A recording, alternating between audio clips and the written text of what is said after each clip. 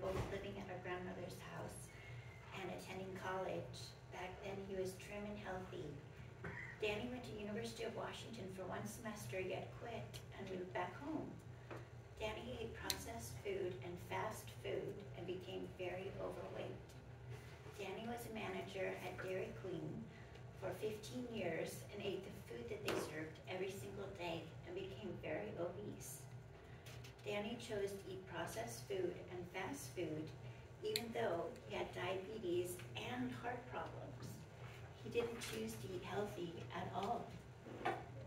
Danny was very depressed. During this time, Danny went to the hospital many times very ill.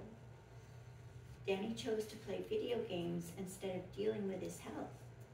Danny died in his apartment at the age of 57 of a heart attack. If Danny had made healthy eating choices and was proactive, he could have become healthy again and lived longer. This was my cousin.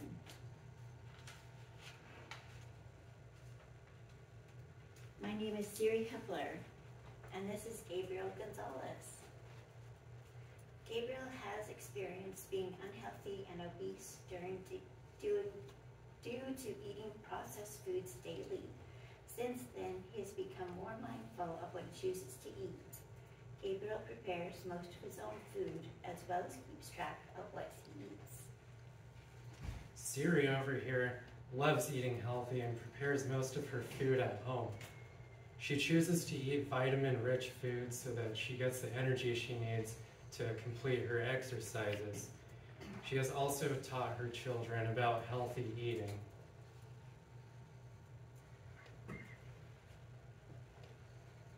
Eating processed food and fast food caused Danny to gain weight, and he died in his apartment at age 57 of a heart attack with diabetes and mobility issues.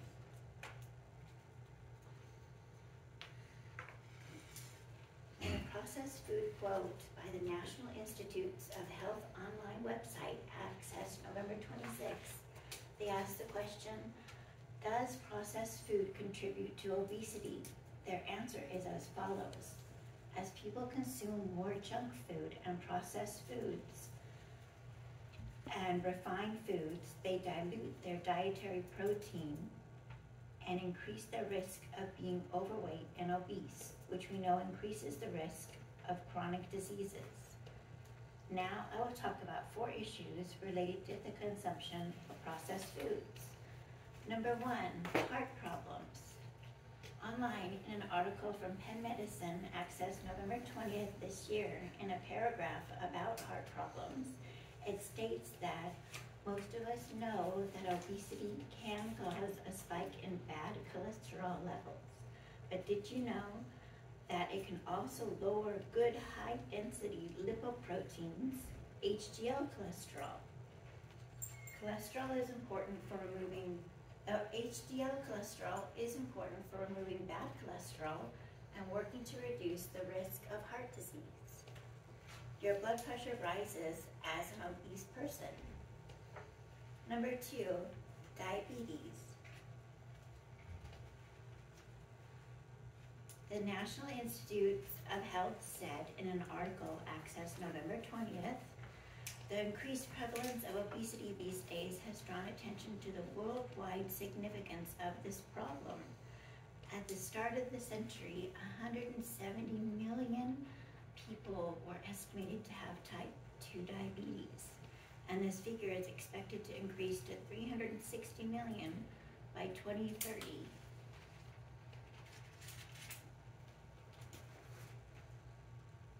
Online, in an article by honorhealth.com, accessed November 25th, they wrote that excess weight, obesity, and morbid obesity are all risk factors for developing type 2 diabetes. Oftentimes, individuals are not aware of the health risk until they are diagnosed with prediabetes or type 2 diabetes. Number three, lack of mobility. In an article on the website of the National Institutes of Health.gov, access November 25th, they state that The reduction in work capacity appears to be due to the following factors. Reduced spine flexibility, decay in endurance, limited range of movement to the major joints, reduced muscle strength, and the capacity to hold prolonged fixed postures, impaired respiratory capacity and visual control.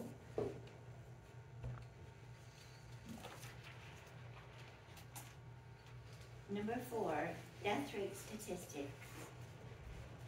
World Health Organization website, Access November 26, stated that obesity has reached epidemic proportions globally with at least 2.8 million people dying each year as a result of being overweight or obese. In an article named Processed Foods Key to Rising Obesity, Access November 26, Science Daily stated that processed foods make up to close to 70% of the US diet. Frozen fruits and vegetables count as, as this, but it's still a sobering statistic. Americans spend 10% of their disposable income on fast food. One out of four Americans eat fast food every day. Thank you.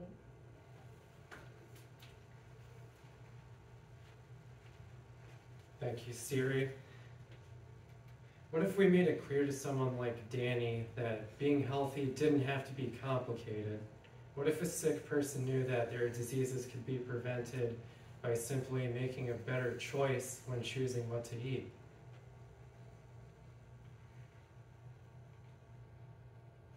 Our choices start in the grocery store. When you walk in, look all the look past all the sweet discounts and deals on junk food that are conveniently laid out for you at the store entrance. This area is known as the decompression zone, as stated in an article published on May 29, 2019 on the convenience store website. It's an area meant to relax customers so that in turn they spend more. Learn where the healthy foods are, get foods you like, and stick to those. Anything that is pre-made and has a whole page of ingredients under the nutrition label is out of the deal.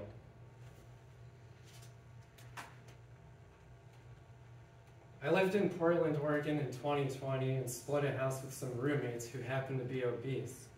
I would make a weekly grocery haul and one of the roommates would comment on how expensive my diet must be. Their comments on how expensive it must be for me to eat healthy made me curious about how much money uh, they must have saved by having fast food delivered to our front door.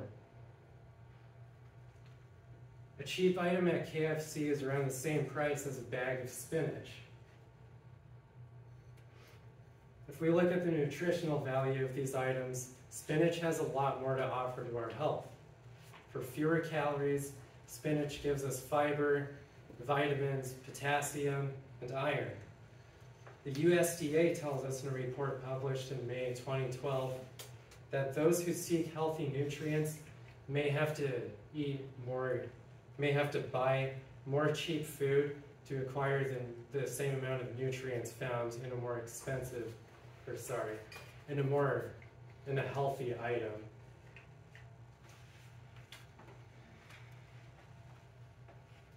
All right. Like Danny, people might choose to ignore the benefits of having their food made at home because processed foods do come with convenience, comfort, and little thought. And these factors make it easy to overlook the health and lifestyle benefits of having your food made at home.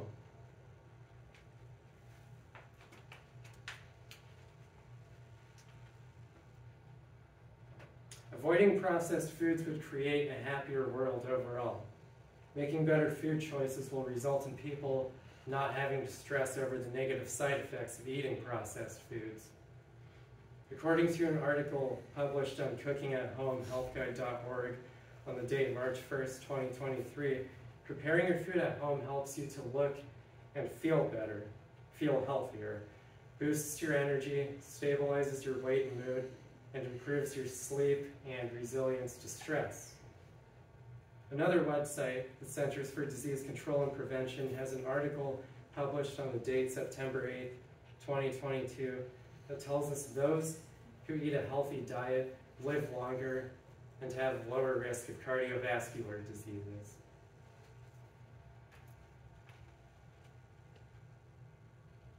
However, if people choose to eat unhealthy foods, an article published on December 2, December 19, 2019, on the New England Journal of Medicine website, shows us a study that suggests with high predictive accuracy that by 2030, nearly one in two adults will have obesity.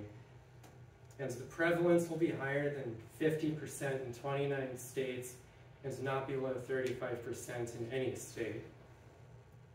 The choice of eating highly processed foods can also put people on a long path to financial risk, as medical bills can quickly rack up debt. An article on the Harvard School of Public Health website, published on April 8, 2016, tells us that cardiovascular diseases can make people miss work days, employers pay more for life insurance, and direct costs like surgeries and lab tests add more to the price of cardiovascular diseases.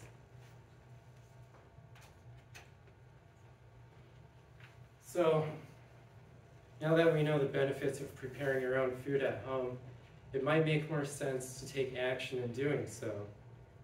Unfortunately, Danny's outcome was a result of not taking action. And what is that one action again? Avoiding processed foods. Be more mindful of the foods you bring into your home and avoid foods with more than a few ingredients. Longevity and being free of pain and many illnesses are benefits of following these guidelines. Eating healthy food saves you money for medical bills and for medicine. One last reason to remember, if a person, if a person lives to retire at the age of 63 and lives to be 93, they would have 30 more years of a happy, healthy life. Thank you.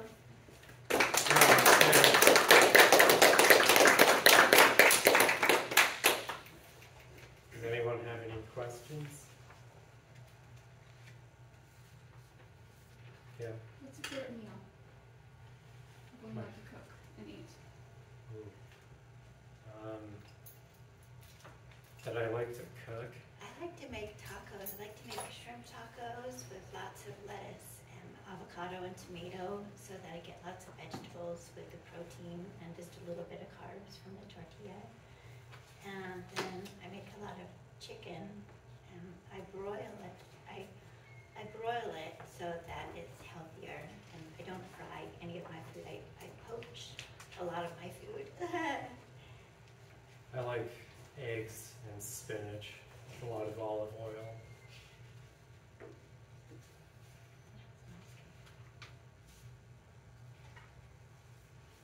Okay, cool. Thank you.